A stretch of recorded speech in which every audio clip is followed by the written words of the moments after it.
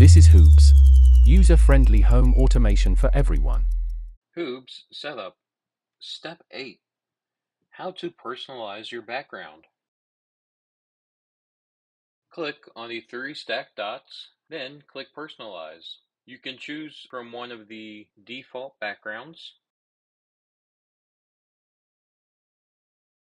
or you can select your own background by clicking on the plus button. From here, you can select any image and click Open.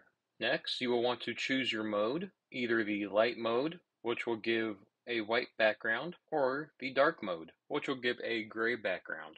We can also choose one of the pre-selected colors. You can either automatically select or you can manually select. Then click Apply.